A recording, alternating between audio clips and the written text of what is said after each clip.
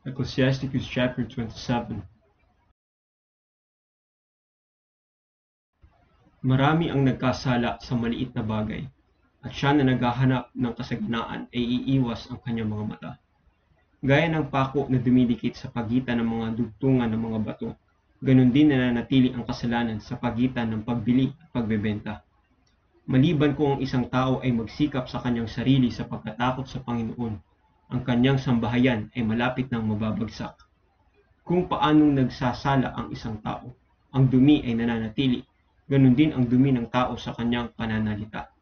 Ang hurno ay nagpapatunay sa mga sisidlan ng magpapalyok, kaya ang pagsubok sa tao ay nasa kanyang pangangatwiran.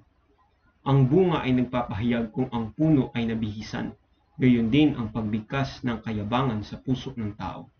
Huwag purihin ang sinuman bago mo marinig siyang magsalita, sapagkat ito ang pagsubok sa mga tao. Kung susundan mo ang katuwiran, makukuha mo siya at ibibihis siya bilang isang maluwalhating mahabang damit. Ang mga ibon ay sasama sa kanilang katulad, gayon din ang katotohanan ay babalik sa kanila na nagsasanay sa kanya.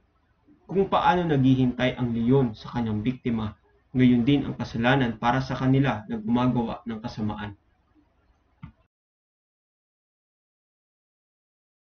Ang diskurso ng isang makadiyos na tao ay palaging may karunungan, ngunit ang isang tanga ay nagbabago parang ang buwan.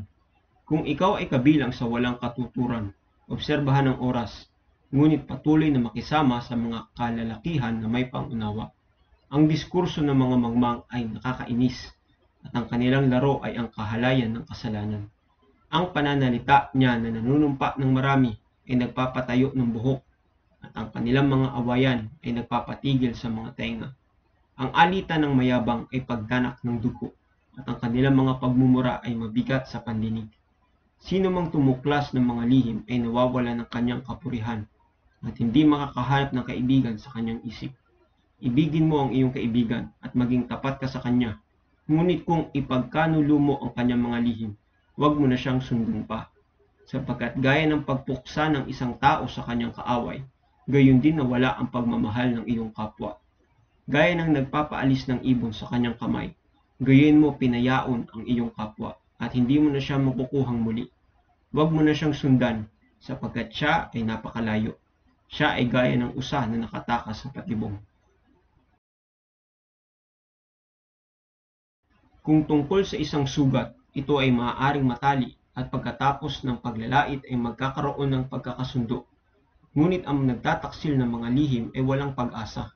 Ang kumikindat ng mga mata ay gumagawa ng masama at ang nakakakilala sa kanya ay lalayo sa kanya.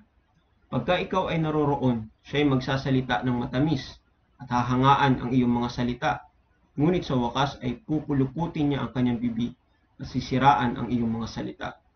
Napuot ako sa maraming bagay, ngunit walang katulad niya sapagkat kapupuotan siya ng Panginoon. Ang naghahagis ng bato sa itaas ay ibinabato sa kanyang sariling ulo, at ang isang mapanlinlang na hampas ay magdudulot ng mga sugat. Sino mang humuhukay ng hukay ay mahuhulog doon, at siyang naglalagay ng patibong ay mahuhuli doon.